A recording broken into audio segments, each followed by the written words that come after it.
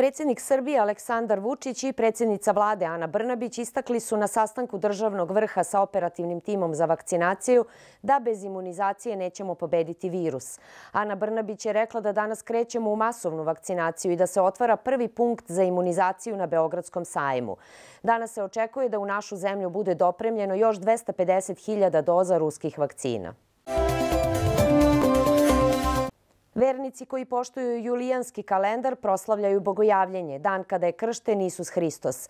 Na ovaj dan se u crkvi sveti bogojavljenska vodica koja se čuva u kući tokom cele godine kao velika svetinja i koristi u slučaju bolesti ili uznemirenja.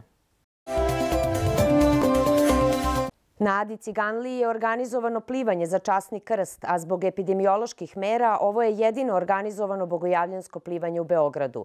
Učestvovalo je samo 12 plivača, odabranih pripadnika žandarmerije i Svibora, a izostala je i tradicionalna litija. Ovogodišnjem plivanju za časni krst je prisustvovao vladika Remezijanski Stefan i nekoliko sveštenika Srpske pravoslavne crkve. Prema poslednjem preseku u Srbiji je od posledica COVID-19 preminula još 21 osoba, a zabeleženo je 1578 novih slučajeva zaraze. U Crnoj Gori registrovano je još 310 slučajeva koronavirusa, preminula je jedna osoba. U Srpskoj je prijavljeno pet smrtnih slučajeva kod kojih je potvrđeno prisustvo virusa korona, dok je novozaraženih 55 osoba. Patriotsku sagu o odbrani nacionalne aviokompanije po svemu sudeći okončaće najplaćeniji crnogorski funkcioner, zamjenik direktora kontrole letjenja Srbije i Crne Gore Smatsa iz Beograda i brat od ujaka predsjednika Crne Gore Mila Đukanovića Lazo Maksimović. On je saopštio da Smaca potražuje crnogorskog avioprevoznika Montenegro Airlinesa oko 6,5 miliona evra na ime troškova preleta aviona ove kompanije, a taj dug je, ističe Maksimović, trebalo da bude prenijet na državu Crnu Goru. Ime Laza Maksimovića dospjelo je u žižu javnosti nakon saznanja da je riječ o crnogorskom funkcioneru koji zvanično ima najveću platu, koja prema određenim informacijama iznosi čak 7500 evra. Maksimović je na funkciju zamjenika direktora SMACA imenovan na predlog vlade još 1. marta 2004. godine. On je na toj funkciji već skoro 17 godina i do sada nije podnosio niti jedan izvještaj o prihodima i imovini, iako dužnost obavlja u ime države Crne Gore u jedinoj preostaloj zajedničkoj firmi koja je opstala nakon razdvajanja državne zajednice Srbije i Crne Gore. U Baru je počelo potpisivanje peticije za hitnu smjenu načelnika Centra bezbjednosti Bar Veselina Magovčevića te komandira i kompletnog rukovodećeg kadra ovdašnje policije.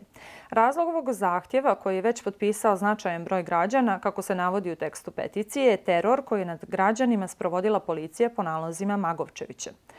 Od dana donošenja rješenja o sječi Čempresa, a nedugo zatim i donošenje spornog zakona o slobodi vjeroispovijesti, u Baru je na dijelu kontinuirani teror nad svima koji su izrazili protest protiv ovog bezakonja.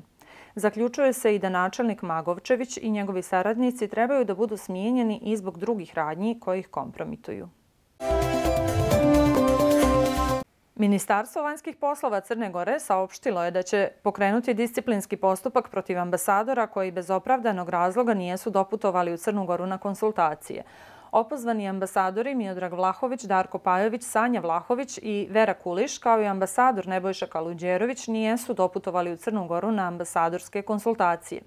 Imajući u vidu činjenicu da nedolazak na ambasadorske konsultacije bez opravdanog razloga predstavlja težu povredu službene dužnosti, Ministarstvo vanjskih poslova će protiv opozvanih ambasadora pokrenuti disciplinski postupak, saopšteno je iz ministarstva. Viši sud u Beogradu odredio je pritvor do 30 dana vlasniku škole glume u Beogradu Miroslavu Aleksiću, osumnjičenom za ukupno 15 krivičnih dela, 8 silovanja i 7 dela polnog uznemiravanja. Aleksić je negirao na saslušanju u Višem javnom tužilaštvu u Beogradu da je seksualno napastvovao šest učenica glume u toj školi, pored ostalih i Milenu Radulović koja ga je prijavila policiji. Deset oklopnih borbenih vozila Miloš 4x4 zvanično je predato pripadnicima 72. brigade za specijalne operacije Vojske Srbije. Prijemu novih vozila prisustvovali su predsednik vlade i ministar odbrane Nebojša Stefanović i načelnik generalštaba Vojske Srbije general Milan Mojsilović. Reč je o savremenim borbeno-oklopnim vozilima koja su proizvod domaće pameti i industrije. Ministar Stefanović je najavio da se nastavlja opremanje Vojske Srbije jer je cilj da naša armija bude ne samo najsnažnija u regionu, već i jedna od najmoćnijih u skladu sa svojom veličinom. Predsednik Alijanse za budućnost Kosova Ramuš Haradinaj najavio je referendum za ujedinjenje sa Albanijom. On je tokom predstavljanja izbornog programa rekao da Kosovo ne može čekati dok drugi ne budu raspoloženi da reše mnoga otvorena pitanja. Objasnio je da to nije pitanje ljubavi i podsjetio da su kosovski Albanci pre 20 godina dali reč Zapadu da žele da poštuju zajedničku viziju, da se takozvano Kosovo pridruži Evropskoj uniji, NATO-u i da postane članica Ujedinjenih nacija i da ga Beograd Beograd prizna, objavilo je Kosovo online. Italijanski premijer Giuseppe Conte dobio je podršku Donjeg doma parlamenta nakon što su se odbegli poslanici vladajuće koalicije uzdržali od glasanja. Međutim, da bi ostao na vlasti, Conte mora da dobije i znatnu težu bitku u Senatu za manje od 24 sata. Conte ovu vladu podržao je 321 poslanik predstavničkog doma, 259 je glasalo protiv, dok je uzdržanih bilo 27. Barikade i vojska sa dugim cevima. Tako izgleda pred inauguraciju Josefa Bajdena, glavni grad Sjedinjenih američkih država. Sve miriše na vanredno stanje. Veliki je strah da će se nasilje ponoviti u sredu kada dužnost preuzima novi predsednik Joseph Biden. Pitanje je šta će se dešavati posle inauguracije Josefa Bajdena u američkom društvu uopšte, ali i u okviru demokratske stranke kaže za nacionalnu In4S TV novinar lista Pečat Nikola Vrzić i dodaje da je jasno da i među samim demokratama postoje razlike. Težnje, međutim, tih tog ne, ni malo zanemarljivog e, broja ljudi za nekim osnovnim, pa rekao bi se osnovnim ljudskim pravima kao što je opšta zdravstvena zaštita, čemu se establishment protivi jer finansira ove, krupni kapital kome to nije u interesu, e, neminovno će voditi do, do neke vrste sukoba.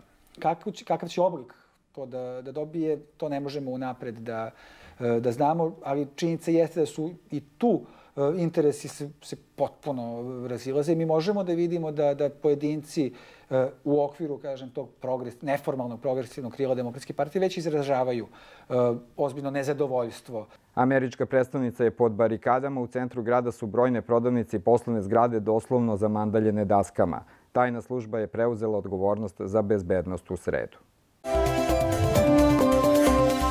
Na dan 100 godišnjice smrti slavnog vojskovođe 20. januara premijerno će biti izvedena monodrama Vojvoda Živojin Mišić doktora Miće Živojinovića na sceni pozorišta Slavija.